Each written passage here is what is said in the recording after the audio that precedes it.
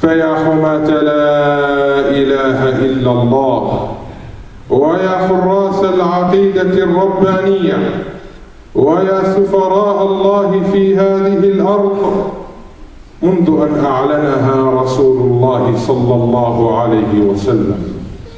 عالية منذ أن جهر بها المصطفى أمام الناس لا إله إلا الله. لا إله إلا الله محمد رسول الله وشنت الحرب على الإسلام.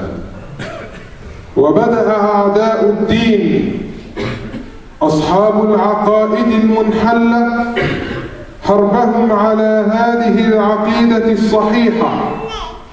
يكيدون هنا وهناك واستمرت هذه الحرب. منذ قرون مضت والحرب مستعرة يريدون أن يطفئوا نور الله بأفواههم ويأبى الله إلا أن يتم نوره ولو كره الكافرون. منذ ذلك الوقت أخذ أعداء الدين صورا شتى وأسماء مختلفة. وأساليب متعددة. الهدف واحد القضاء على هذا الدين. بأي وسيلة كانت أو بأي طريقة يسرت؟ المهم أن نصل إلى هذا الهدف. وأدرك أعداء الدين. منذ فترة ليست بالوجيزة. أدركوا جيدا أنهم إن أرادوا أن يضربوا هذا الدين وهذه العقيدة فعليهم أن يضربوا أساس هذا الدين المتمثل في الأسرة. أن يضربوا حجر الزاوية من هذا البناء الشامخ الذي دعا وأشاده وبناه الإسلام. فبدأوا بتحريضهم على المرأة المسلمة.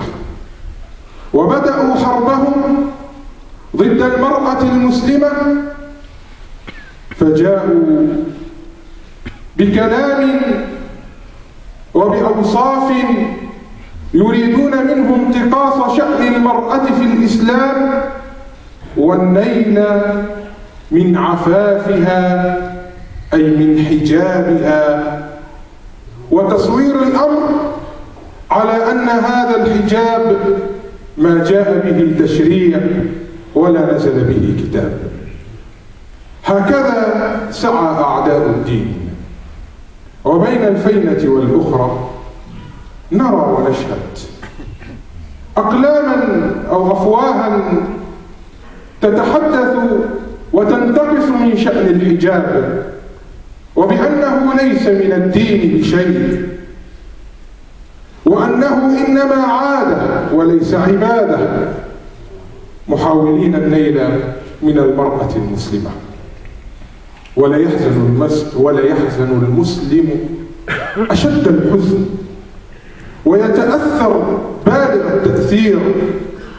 وهو يرى امرأة مسلمة تأثرت بأمثال هؤلاء وبكلام أمثال هؤلاء فتركت حجابها الذي هو عفافها وزينتها والذي يصونها ويجعلها كاللؤلؤة نعم يا سادة هكذا سعى أعداء الدين ومن أجل هذا الهدف ساروا فقالوا زورا وبهتانا إن الحجاب ليس من الدين بشيء. وهذا هو أفرى الكذب. وهذا هو أكذب الكذب. بل إن الحجاب من الدين. جاء به التنزيل وأكدته سنة النبي صلى الله عليه وسلم وبينه فعل الصحابيات رضوان الله تعالى عنهن جميعا. الحجاب جاء به القرآن الكريم. فاسمعوا إلى مولاكم. يا أمة الإسلام إياكم أن تنغشوا بأمثال هؤلاء الدعاة. الذين ما وقفوا عند كتاب الله ولا عند سنة نبيه ولا فهموا النصوص أو أنهم أرادوا فهم النصوص على وفق ما يكون على هواه. إننا نفهم القرآن من السنة ومن النبي ونفهم السنة من الصحابة. نريد أن نأخذ بفهم الصحابة رضوان الله تعالى عليهم والسلف الصالح والعلماء العالمين العاملين. يقول الله تبارك وتعالى في القرآن الكريم من بعد بسم الله الرحمن الرحيم. وقل للمؤمنات يغضضن من أبصارهن. يا محمد يا رسول الله قل لمن؟ قل للمؤمنات.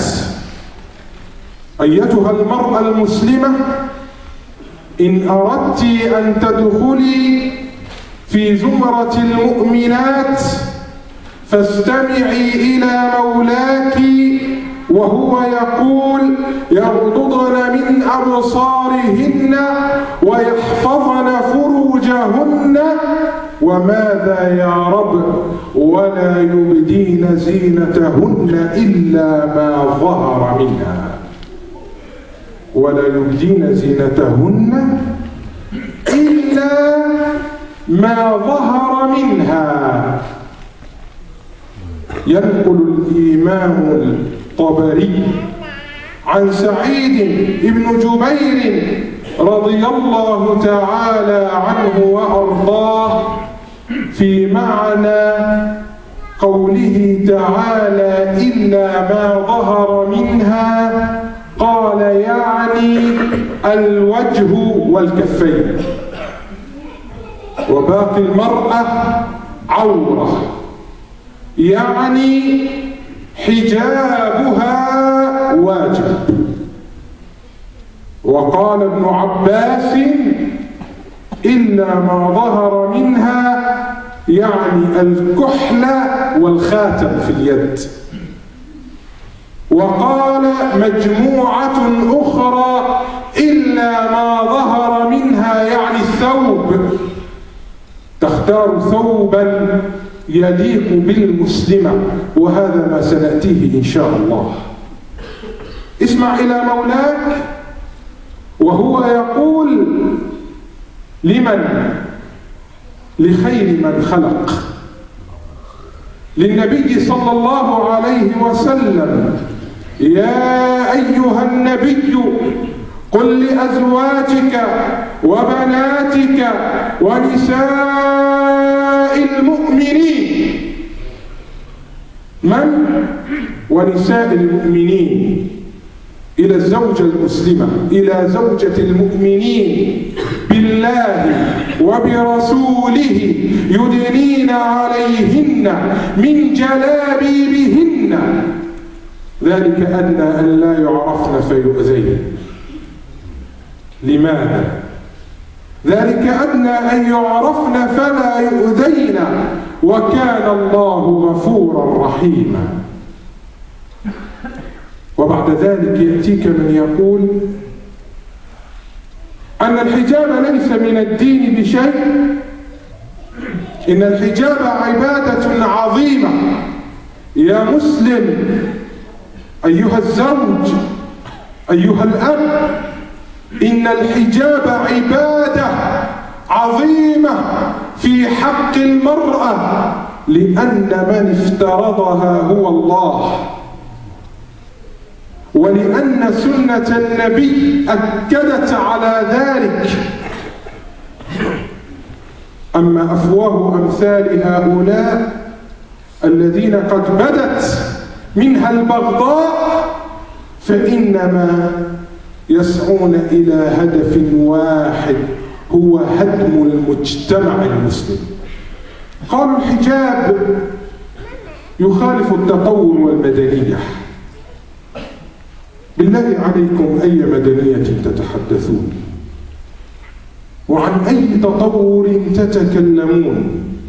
لا نريد أن نتكلم كلاما إنشائيا وحسب وإنما أن نقف مع الوقائع والحقائق والأرقام.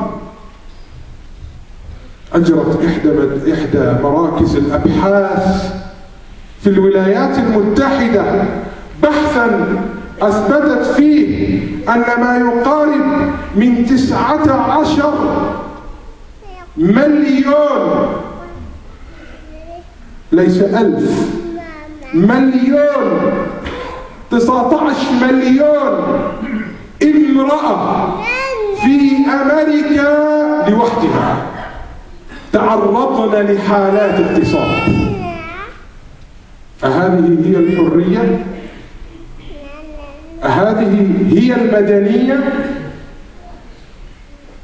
قل ذلك لمن يكون أجلكم الله كالبغبغاء يردد ما يسمع فقط الحجاب فخر للمرأة المسلمة وثواب وأجر من الله. أجرت أو أجرى الاتحاد الإيطالي للطب النفسي دراسة قال فيها إن سبعين بالمئة من الرجال الإيطاليين اعترفوا أنهم قد خانوا زوجاتهم. أتريدون لهذا أن يكون في مجتمع المسلمين؟ دخلت مجموعة نسوة من بني تميم إلى أم المؤمنين الطاهرة عائشة رضي الله تعالى عنها وأرضاها وكنا يرتدين ما يشف ملابس شفافة خفيفة فقالت أم المؤمنين رضي الله تعالى عنها وأرضاها. إن كنتن من المؤمنات فهذا ليس من لباس المؤمنات. إن كنتن من المؤمنات فهذا ليس من لباس المؤمنات. وإن كنتن غير مؤمنات فتمتعن به.